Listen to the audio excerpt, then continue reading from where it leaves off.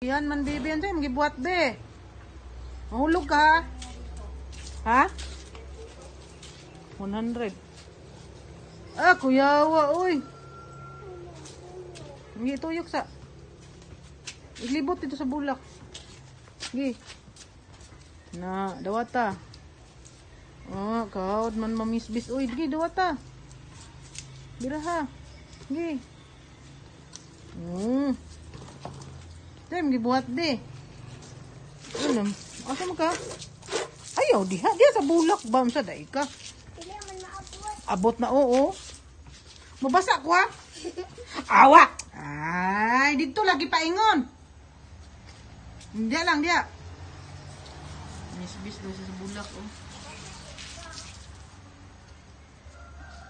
Mabulaso. Ayaw dia sa kabo. Sa bulak, gani, no? Ito man. Dia, oh. Hindi man ako dito. Ah, ko pa, oy. Hawad mo lang ka mamisbis. Hindi, dugaya. Kaya was bata, mama ko, namisbis, nagbulak. Balo de ka mamisbis, bebe. Tanaw, mahulog ka ha. Yo, wa bibi, oh. At, bibi sab, oh, namisbis sila bulak si ate.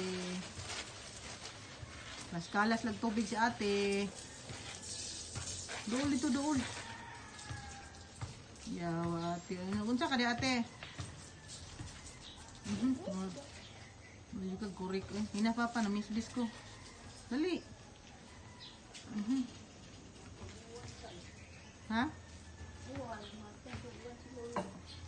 Ah, pag nagmotor, mapud siya, nagpajiro, ba siya?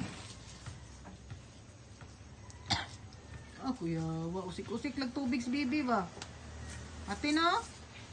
Usik-usik ang tubig no? Dila, dili na pagko. Hmm, Ito ka. Di nakaabot oy, di na taman.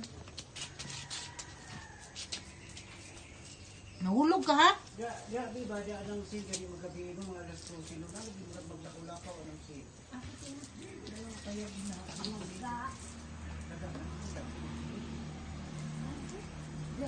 Doon niya, og naagani, hindi ko na ko pintado. Siguro. Ano pa yan?